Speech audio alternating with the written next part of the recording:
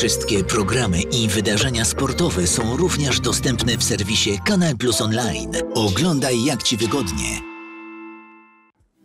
Jest pierwszym Polakiem, który strzelił gola w Premier League. Mało tego, jest pierwszym obcokrajowcem, który zdobył bramkę w tej lidze. I to gdzie? Na Old Trafford. I to z kim? Z Manchesterem United. A kogo wtedy pokonał?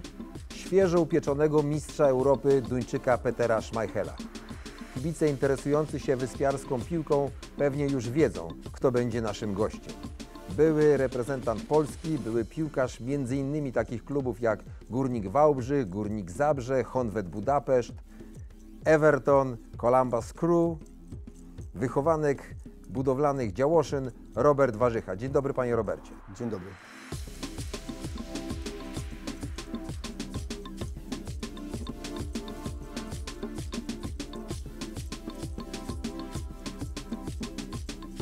Tematem naszej rozmowy będą Pana zagraniczne wojaże. Zacznę oczywiście od Evertonu, pańskiej pierwszej zagranicznej wyprawy. Proszę powiedzieć, jak doszło do tego transferu do y, angielskiego klubu? Czy miał Pan wcześniej inne zagraniczne propozycje?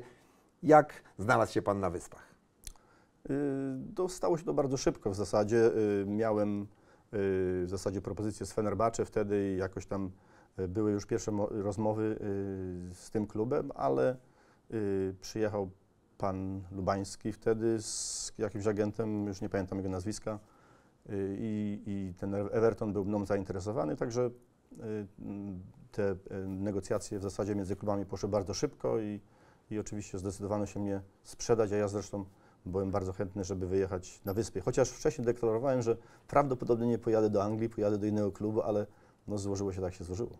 Miał Pan wtedy 27 lat. Jak Pan z perspektywy czasu ocenia, czy to był dobry wiek na pierwszą taką eskapadę zagraniczną, czy za wcześnie, może za późno? Myślę, że za późno. W ogóle późno zacząłem grać profesjonalnie w piłkę, dlatego może e, gdybym zaczął wcześniej, może ten wyjazd nastąpił już wcześniej. Ale myślę, że ten wiek 27 lat, 28 to był taki, mm, e, że tak powiem, moje y, pik taki był, że, że, że, że, już no powinienem wyjechać i, i, i, spróbować czegoś za granicą. Był rok 1991. Polacy wtedy często jeździli najpierw na testy. Czy u Pana też miał miejsce taki przypadek, czy skończyło się tylko na testach medycznych? Przypomnijmy, że menedżerem Evertonu był wtedy legendarny trener tej drużyny Howard Kendall. Tak, no zaproszono mnie y, na tydzień do, do Liverpoolu. Y, Oczywiście zrobiono mi wszystkie badania i wszystkie y, rentgeny.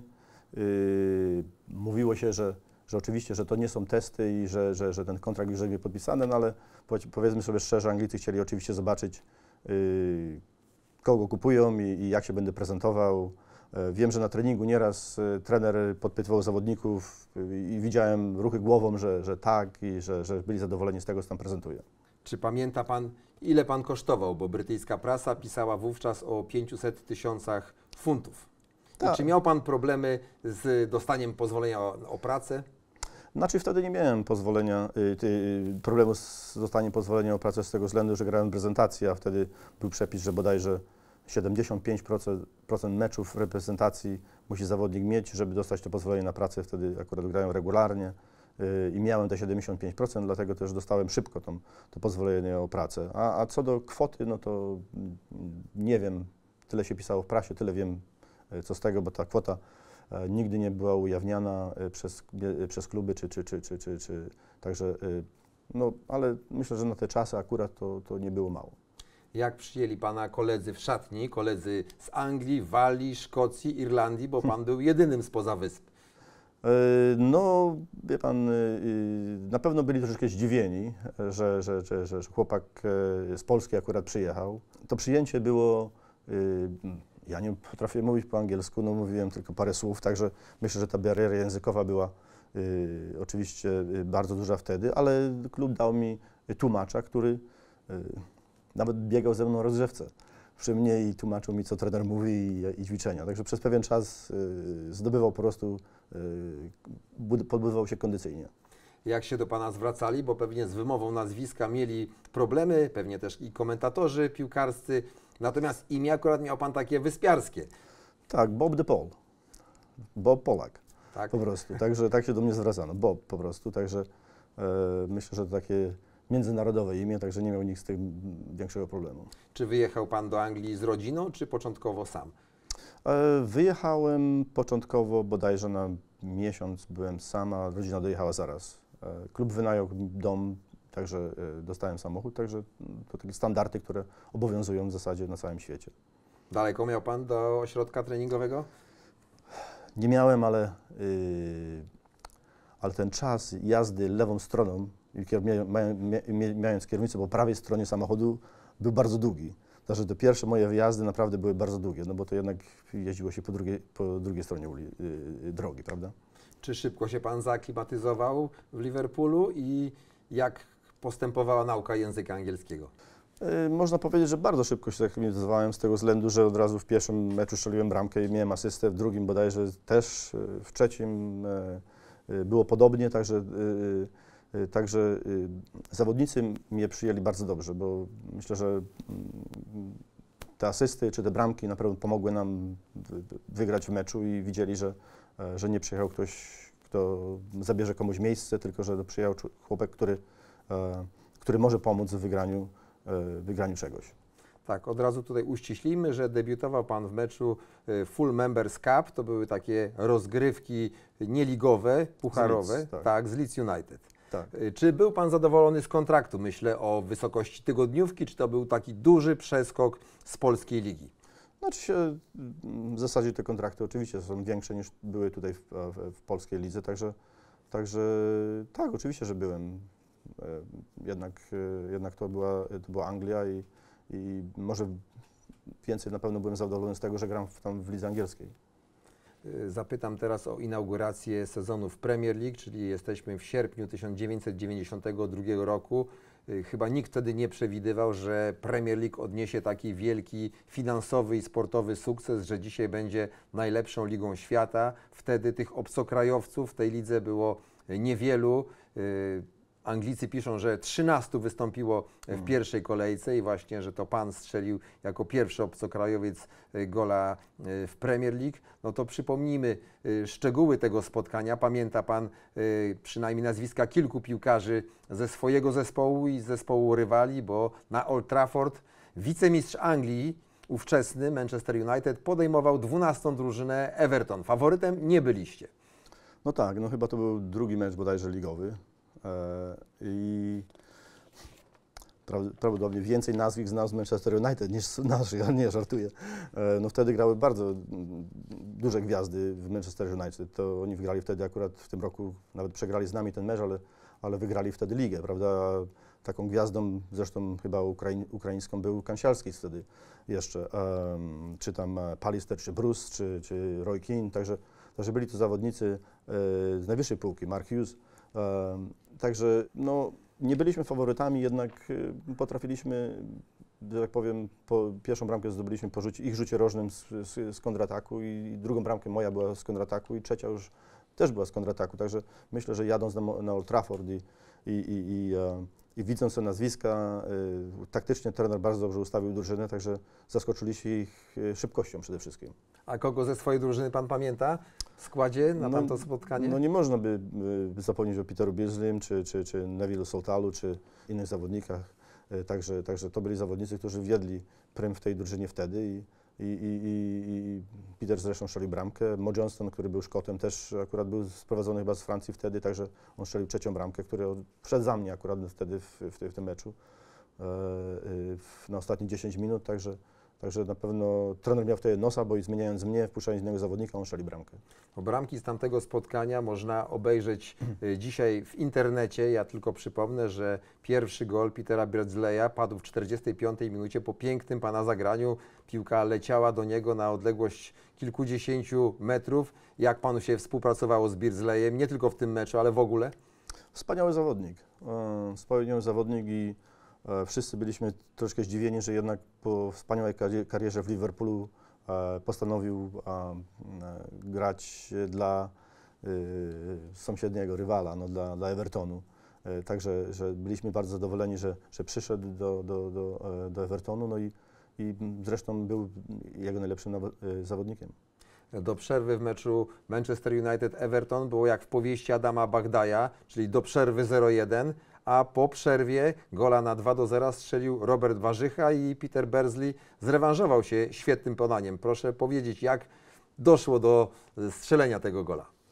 E, No, Peter był bardzo technicznym zawodnikiem, także jeżeli piłka do niego biegła czy, czy leciała, jak się to mówi, to, um, to potrafił się z nią odwrócić czy przyjąć ją kierunkowo. Także, e, także gdy, gdy to zobaczyłem, że on tą przyjmuje tą piłkę tak, tak, a nie inaczej, na swoją prawą nogę, no to a, wiedziałem, że będzie potrafił mi e, się zrewanżować bardzo dobrym, bardzo dobrym podaniem.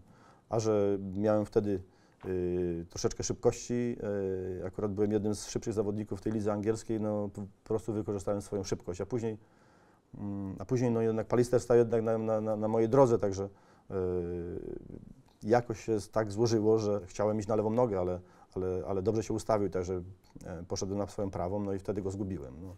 A że Peter Schmeichel, e, wiedziałem, że jest bardzo e, zawodnikiem czy, czy bramkarzem y, szybkim i, i, i bardzo dobrze łapie piłki, które zostają po ziemi, postanowiłem uderzyć do góry, także nad, nad koło jego głowy.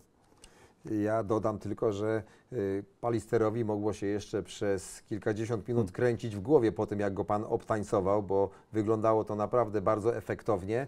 Później w 80 minucie Mo Johnson wszedł za Roberta Warzychę, podwyższył na 3 do 0 i ostatecznie skończyło się na 3 do 0. Chciałem zapytać pana jeszcze o tego gola na 2 do 0. Jak wysoko w hierarchii ważności tych goli już po zakończeniu kariery stawia sobie pan tę bramkę? Myślę, że to była dla mnie bramka numer jeden, bo strzeliłem ją, y, że to była ładna akcja, e, to było na Old Trafford, to było przeciwko Manchesterowi United, gdzie Manchester United jest niesfaworyzowany y, w, w Liverpoolu, czy przez, przez Everton, czy przez Liverpool, także, także myślę, że to, było, to była bramka y, dla mnie numer jeden. Grał Pan też w derbach z Liverpoolem i na Anfield i na Goodison Park. Jak Pan wspomina atmosferę z tamtych e, spotkań? Gdzie było goręcej? Czy wtedy w ogóle wszystkie mecze w Anglii były dla Pana tak samo ważne i tak samo niesamowite? Czy jednak derby wyróżniały się czymś? Nie, nie, to derby były zawsze czymś, czymś e, ważniejszym, bo, bo kibice dali nam to odczuć, zawodnikom dali odczuć to na, na, na każdym kroku. Czy wychodziło się na miasto, czy, czy było się w restauracji, czy jechało się samochodem. e, Zresztą sami zawodnicy też się motywowali, nie mówiąc już o, o trenerach. Także, także to, tą atmosferę tych derbów czuło się już e, po zakończeniu meczu po, poprzedzającego. W sumie w Anglii rozegrał Pan 72 ligowe mecze, strzelił Pan w nich 6 goli. Jak Pan z perspektywy czasu ocenia? Można było osiągnąć więcej? Czy to wycisnąłem maksa z tego pobytu na Wyspach? Myślę, że można to było wyciągnąć z tego więcej. Myślę, że mm, takie jechanie w takie nieznane, takie y, dopiero się na miejscu dowiadywanie, jechanie z rodziną, mając, e, nie, nie znając języka, em, poznawając te wszystkie niuanse y, y, życia na, na zachodzie, myślę, że, że, że, że to również tak zawodnika przytłacza. I to nie tylko może w moim wypadku było, ale również było w, jest w wypadku innych zawodników, którzy w tej chwili, może w tej chwili jest łatwiej, ale którzy, którzy jechali w tym czasie, czy może parę lat po mnie y, do innych krajów. Także myślę, że zanim się y, staniemy tam na nogi i, rodzina będzie w porządku i, i, i, jeżeli się ma dzieci, że, że, że, że, że ten lekarz że gdzieś tam się z, z, y, y, y, stanie, czy wiadomo gdzie iść i czego i tak, zanim się takie, tak osiądzie na dobre, to jednak minie troszeczkę czasu i to może wpływać na, na formę zawodnika w niektórych, y, w niektórych wypadkach i dlatego myślę, że te wahania formy są nieraz wyższe, a nieraz niższe. No. A myślę, że mogłem zrobić więcej, bo ten początek, taka euforia była duża i strzeliłem bramkę w debiucie i parę bramek strzeliłem zaraz na początku, Mm, ale nigdy nie strzeliłem bramki na Evertonie w, w domu. Um, później złapałem troszkę kontuzję i ta kontuzja jednak nie, pozwoliła, nie pozwoliła mi grać przez parę miesięcy. Um, I to myślę, że też później dostałem kartę pracy, bo w reprezentacji nie grałem i, i, i tej karty pracy mi nie przedłużono, chociaż Everton dał mi jeszcze nowy kontrakt na dwa lata. Yy, I, i, to myślę, że, że też wpłynęło na to, że, że, że gdybym został jeszcze te dwa lata, e, Everton zdobył w tym roku, w którym odszedłem, e, zdobył puchar Także myślę, że to mm, taki sukces, czy, czy, czy będąc tą drużyną wtedy akurat mogło, mogło jeszcze przyczynić się do tego, że, że może jeszcze wzbiłbym się jeszcze wyżej. Tak, no właśnie, w 1995 roku Everton wygrał na Wembley w finale Pucharu Anglii z Manchesterem United, czyli o- triumfował rok po Pana wyjeździe z klubu. Żałował Pan bardzo, że już Pana tam nie ma? Była szansa na pozostanie na Wyspach i chciałem jeszcze zapytać, bo też doszło do, yy, w pewnym momencie do takiej zmiany trenera. Tam yy, Walker zastąpił Kendala. Czy to też mogło mieć wpływ na Pana yy, odejście z klubu? Myślę, że tak, ale, ale y, Walker przyszedł po, po Howardzie Kendalu i zaoferował mi kontrakt na dwa lata, czyli ja ten kontrakt miałem w ręce, tylko że ten kontrakt miał być ważny, jeżeli po prostu e, e, państwo angielskie da mi kartę pracy, ale te znowu te, te, te, te, te felerne tam, czy te 12 meczów, czy tam 75% meczów reprezentacji, przepraszam, musiałem, musiałem zagrać, a wtedy przed e, selekcjoner pan Apostel i już nie widział mnie w składzie i z tego względu nie grałem tych meczów i nie dostałem tej karty pracy. Mhm. Przeprowadził się Pan na Węgry. Wtedy to był taki dość egzotyczny kierunek dla polskich piłkarzy. Yy, miał Pan inne propozycje i skąd się te Węgry w ogóle wzięły? Miałem e, propozycję z Emiratów, także czekałem na, e, na księcia, żeby z, mm, zdecydował się podpisać, a był na jachcie i tak się to przedłużało, tak przynajmniej mi mówiono, no i gdy zdarzyła się ta y, propozycja z Węgier, no wtedy były listy transferowe już zamknięte, no bo to było dwa miesiące już po zamknięciu list transferowych. Bo ja, ja byłem jeszcze dwa miesiące w Evertonie, czekałem na kartę pracy. Oni nie dawali mi, nie dawali, nie dawali tej karty pracy i wreszcie przyszła ta karta pracy, ale odmowna po dwóch miesiącach.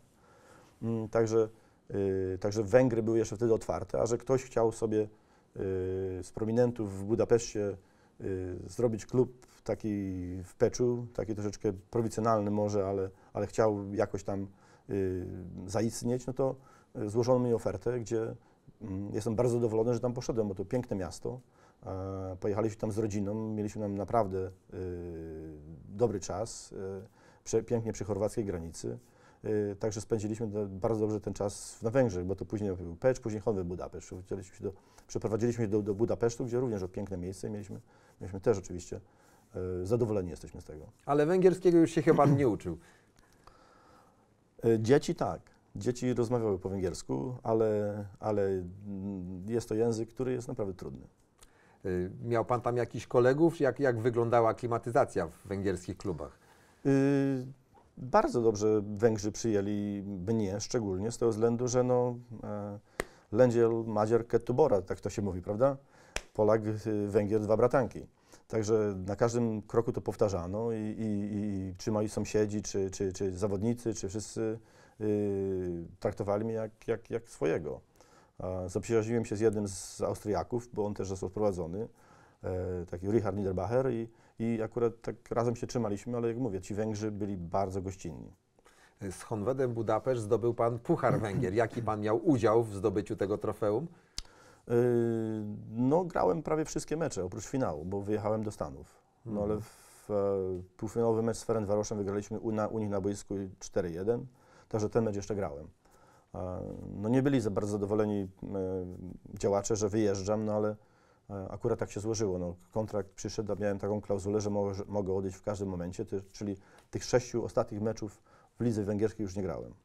Czy miał Pan wtedy jakiegoś agenta piłkarskiego? Jak wtedy wyglądały relacje zawodnika z agentem? Tak, tak, to już wtedy już zaczęli ci agenci być i miałem takiego agenta, który przyjechał właśnie, który był Węgrem, sprowadzał y, Afry- Afrykanów do Europy czy tam gdzieś, no i akurat tak z, z, z posłowie zjedliśmy obiad i, i akurat się jak złożyło, że, że, że, że Columbus Crew potrzebowało y, wzmocnień, y, bo nie wiodło im się w lidze, także postanowiono, że, że zaproponują mi kontrakt, ale muszę przyjechać natychmiast. Nie chciano czekać do końca, sez- końca sezonu, bo, bo, bo, bo y, za dużo meczów już przegrali, nie mogliby się załapać w playoffie. I akurat zdarzyło się tak, że, że to był strzał w dziesiątkę. Proszę przybliżyć ten klub Columbus Crew, gdzie to jest i jakie mieli wówczas y, wyniki. No to akurat ta liga powstała w 1996 roku i było tylko 8 drużyn. I jednym z tych pierwszych klubów właśnie, które powstały, był Columbus Crew. Bardzo im się nie wiodło na początku. y, przegrali dosyć dużo meczów i, i z tego względu zaczęto się rozglądać się za innymi zawodnikami. Jednym z nich byłem ja, a drugim był Brad Friedel, który grał zresztą w Liverpoolu, Galatasaray i w Tottenhamie i, i później zresztą. Tak?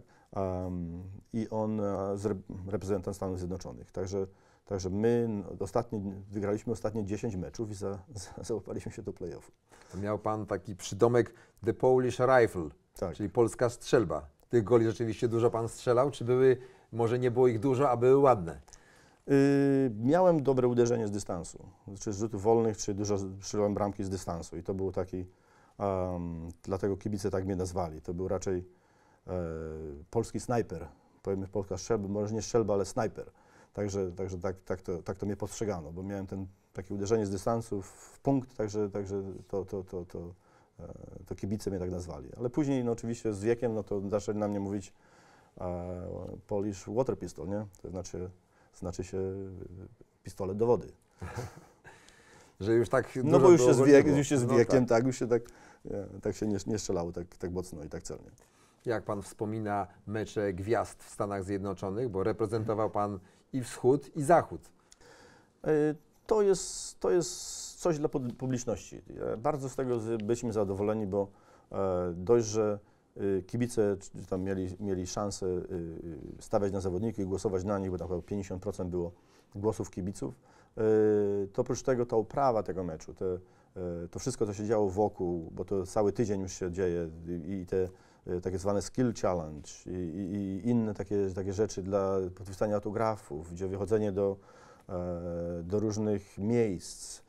Y, To jest, to jest taka cała oprawa i taka otoczka, że to, że to fajnie jechać. No, no ja akurat byłem w Nowym Jorku wtedy, byliśmy żoną, także no to zwiedziliśmy cały Nowy Jork i to, to, to było, było coś, coś fajnego, no bo to jedna sprawa jest jechać na taką imprezę, a druga sprawa jest jechać tylko na mecz. Jak się na mecz, no jedzie się dzień wcześniej, jedzie się spać, to się jak najbardziej przygotować i, i wtedy się nie wychodzi i nie, nie myśli się o innych rzeczach, tylko o meczu. Także że to są taka, to jest właśnie taka impreza, że aż szczególnie w tej chwili gra się przeciwko Arsenalowi, gra się przeciwko Manchester United, gra się przeciwko Boca Juniors. To są, to są najwyższej półki drużyny, które, które naprawdę y, dają taką, taką atmosferę, bo to wtedy już są naprawdę wielkie stadiony i dużo kibiców. Tak, trzeba starać się o to, by ten mecz nie sprowadził się tylko do lotniska, hotelu i stadionu, żeby jeszcze coś tam skorzystać przy okazji. Zgadza się, tak.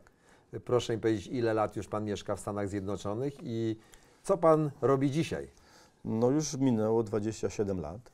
Yy, także no w tej chwili trenuję cały. Profesjonalnie trenowałem, grałem, pro, trenowałem, y, byłem asystentem, później pierwszym trenerem Columbus Crew. E, Po tej przygodzie oczywiście przyjechałem do Górnika na, e, na, na, na, na parę miesięcy, znaczy na półtora roku. Y, A w tej chwili cały czas trenuję dzieci. dzieci. Trenuję dzieci w wieku od e, 10 do 19 lat i to są chłopcy i dziewczynki. Także ja, ja miałem akurat w tamtym roku dwie drużyny chłopców 16, jedna drużyna miała, była 16 lat, 16 lat, druga 17 lat. No i w tej chwili za, po tym moim urlopie oczywiście zajadę z powrotem do, do Stanów, ale w tym roku będę miał dziewczyny. I one też będą w wieku 15 do 19 lat, ale ja tylko będę, nie będę miał drużyn, tylko będę miał funkcjonalne treningi z nimi. A proszę mi powiedzieć, czy jakiś sport taki typowo amerykański zainteresował Pana już podczas pobytu w Columbus Crew, czy NHL, y, NBA, Liga Baseballu, czy futbolu amerykańskiego wciągnęła Pana, czy cały czas jest Pan wierny tylko piłce nożnej?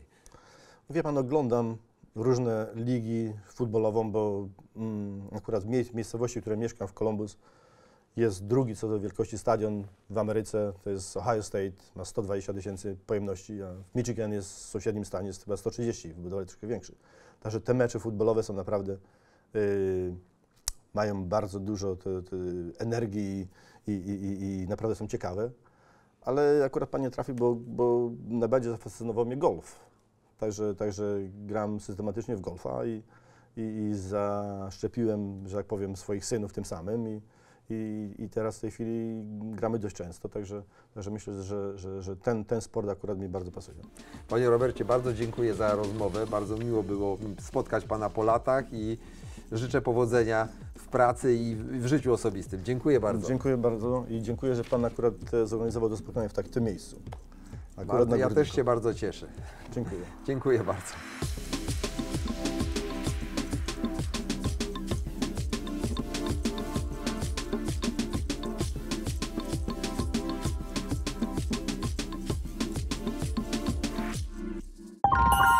Wszystkie programy i wydarzenia sportowe są również dostępne w serwisie Kanal Plus Online. Oglądaj jak Ci wygodnie